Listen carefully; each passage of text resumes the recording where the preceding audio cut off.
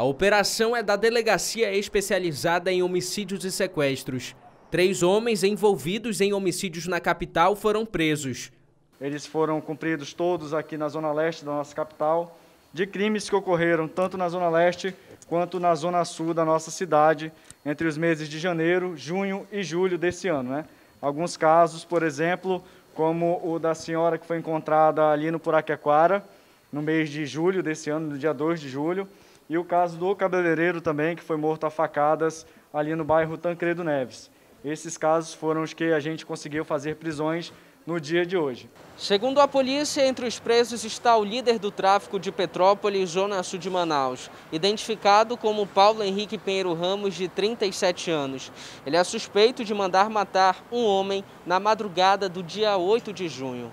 Conseguimos o endereço dele, ele é apontado como uma liderança do tráfico de drogas ali da região sul da nossa capital e hoje a gente pode dizer que se encontra preso e irá responder também pelo caso desse homicídio. Os outros presos não tiveram os nomes divulgados porque as investigações são sigilosas.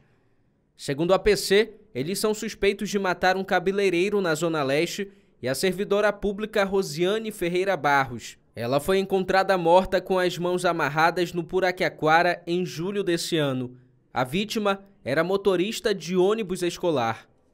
O segundo caso é da vítima Rosiane Barros, encontrada morta no Puraquequara no dia 2 de julho deste ano, quando praticava ali sua caminhada diária. Infelizmente, um crime muito triste, covarde. Ela foi é, provavelmente ali espancada, foi morta com é, um objeto contundente também e estava sem as partes debaixo do, das vestimentas. O trio responde por homicídio e permanece à disposição da Justiça.